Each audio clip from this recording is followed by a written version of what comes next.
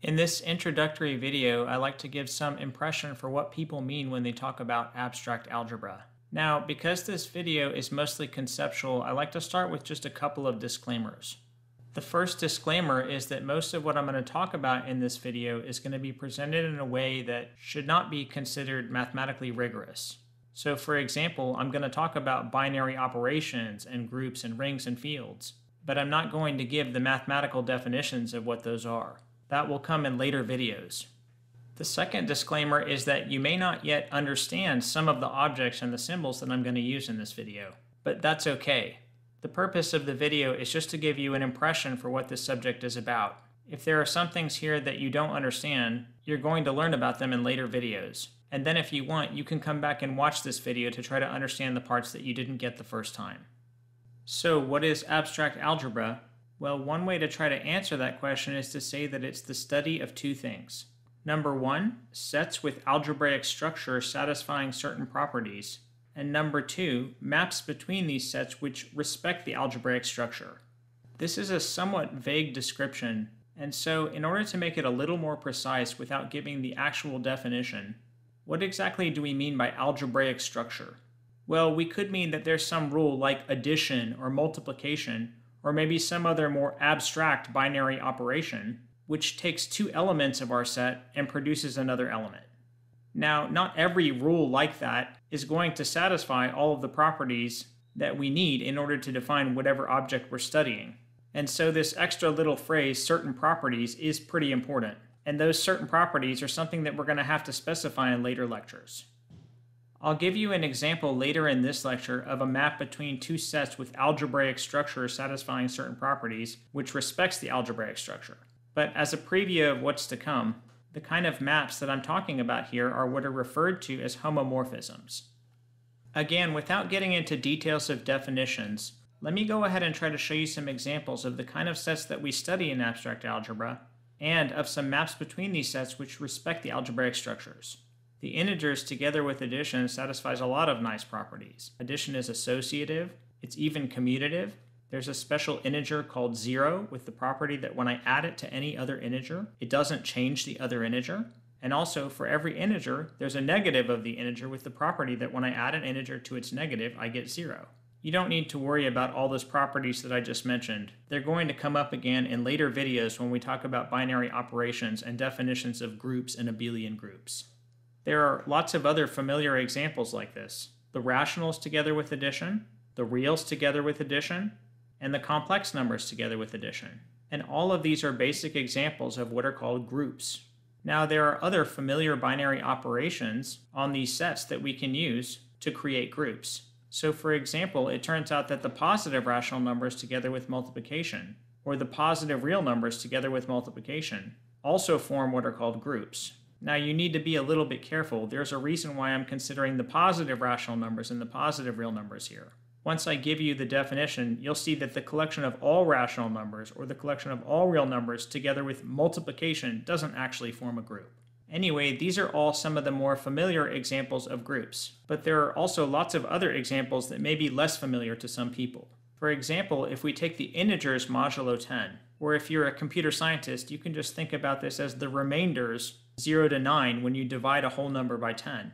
That collection of remainders, together with the operation of addition modulo 10, also forms a group called the additive group of integers modulo 10. Now, like I said in the disclaimers, if you don't really understand what this is talking about, you don't need to worry too much about it right now. Groups like this are going to be some of our first examples after we nail down the definition of a group. Another important example of a group is the collection of all polynomials with real coefficients together with addition of polynomials. This is a set with algebraic structure. The algebraic structure is addition of polynomials, and it turns out to satisfy all the nice properties that it needs to satisfy in order to be called a group. Another example of a group which may be familiar to some people is the collection of 2 by 2 real matrices, that means matrices with real coefficients, with determinant not equal to 0, together with the binary operation of multiplication of matrices. And to give you a final example, which may be less familiar to a lot of people, take any set S and then consider the power set of that set. That is, the collection of all subsets of S together with the binary operation of symmetric difference. In other words, our set here is the power set of a set S, and our algebraic structure or binary operation is the operation which takes two subsets of S and then forms the symmetric difference of the two sets. This also turns out to be an example of a group. If you don't fully understand this example, that's okay. My real reason in showing you all of these examples is to show you that there are many more abstract objects besides the familiar ones, which can all be studied using the machinery of group theory. Now, besides groups, there are also other kinds of objects that we study in abstract algebra. Two of the most common ones are what are called rings and fields. Rings are just sets with two different binary operations that both behave nicely and are also compatible with each other in a certain sense. In a lot of the examples that we gave of groups, there's not only a familiar operation of what we would call addition, but also one of what we would call multiplication. And it turns out that in all the examples that I've listed here, when we consider these sets together with their addition and multiplication operations, they form what are called rings. Fields are just special examples of rings, which are especially nicely behaved under the multiplication operation. Not all of the rings that we've listed here turn out to be fields, but three of them are. The integers together with addition and multiplication is a ring but not a field and the collection of polynomials with real coefficients together with addition and multiplication is also a ring but not a field. The collection of integers modulo 10 together with addition and multiplication is also a ring but not a field. But just so you don't think things are too easy here, it turns out that the integers modulo 11 together with addition and multiplication is a field. Hopefully that gives you a little flavor of the kinds of objects that we study in abstract algebra. Next, what do we mean by maps between these sets which respect the algebraic structure?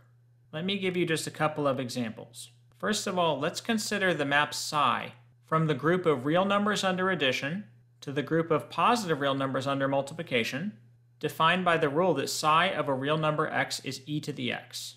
Choose your favorite real numbers x and y in the domain, and think about what the function psi does to the real number x plus y. Of course, by the definition of psi, that's equal to e to the x plus y, and by properties of the exponential function, that's equal to e to the x times e to the y. Well, again, by the definition of psi, that's equal to psi of x times psi of y. Now notice that psi has taken two real numbers which were added together in the domain, and it's mapped them to the product of their images in the codomain. That's an example of what we mean when we say that the map respects the algebraic structures in the domain and in the codomain and this map psi is what we would call a homomorphism of groups. Now for a second example, consider the map phi from the group of integers under addition to the group of integers modulo 10 under addition, defined by the rule that phi of an integer is equal to the integer modulo 10. If you're not comfortable with modular arithmetic yet, you can skip this example if you think it's confusing. However, if you know a little bit about modular arithmetic, then you're going to realize that for any pair of integers n and m, when you add n and m together and then compute phi of the sum, you get the same thing as when you compute phi of n and add it to phi of m. This is just saying that addition of residue classes is well-defined modulo 10. We'll revisit this and talk about it in more detail in a later lecture. For the purposes of this lecture, though, what you're supposed to notice is that phi is taking a sum of two integers in the integers, and it's mapping it to a sum of two integers modulo 10. Now, even though these plus signs look the same, technically they represent different binary operations. The plus sign on the left is the addition of two integers in z, and the plus sign on the right is the addition of two integers modulo 10. The main point here is that phi is a homomorphism from the collection of integers under addition to the collection of integers modulo 10 under addition.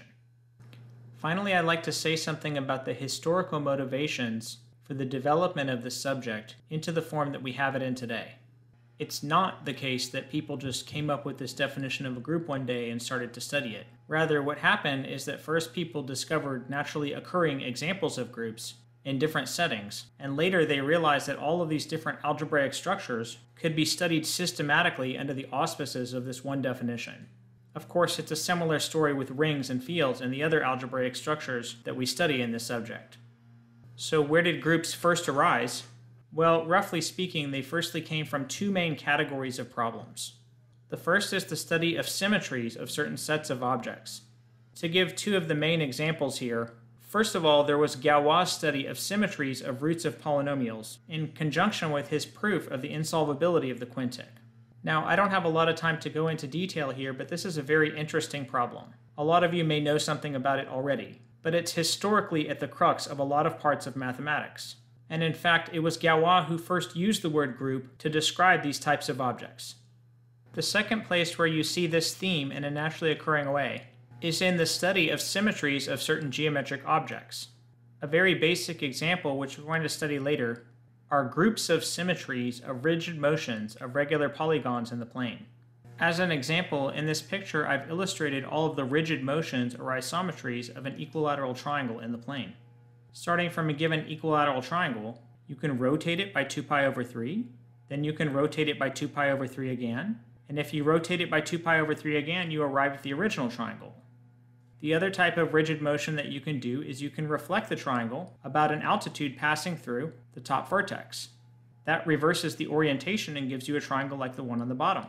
Then, if you rotate that triangle by 2 pi over 3 and then by 2 pi over 3 again, you get two different orientations of the original triangle. Well, we're going to say more about this example in a later video, but this is a very basic example of a set on which you can define a very natural binary operation, which turns it into a group. There are similar groups of symmetries for other regular polygons and for shapes in higher dimensions. These are things that occur naturally in many branches of mathematics, as well as applications to physics and other parts of the sciences. The second category of problems that motivated the systematic study of groups and related algebraically defined objects are problems coming from number theory, for example, problems about the integers modulo n or related groups. Historically, a lot of these types of problems arose in the context of pure mathematics, but in modern times they have applications to lots of different problems in cryptography, computer science, and many other parts of mathematics and the sciences. Just to give you a very simple example of the types of problems I'm talking about, let's try to determine what the units digit of 3 to the power 2023 is. I think a lot of you who have either done contest math or taken elementary number theory will already have some idea how to do this problem. One sort of hands-on, unsophisticated solution is just to make a table of all of the powers of 3 modulo 10. So 3 to the first is 3, 3 squared is 9, 3 cubed is 7. Remember, we're working modulo 10, so we can replace any integer here by its remainder after dividing by 10. And then we continue in this way at each step multiplying the number on the previous level by 3 and reducing mod 10. That means that the next number in the list, 3 to the 4th mod 10, is going to be 1.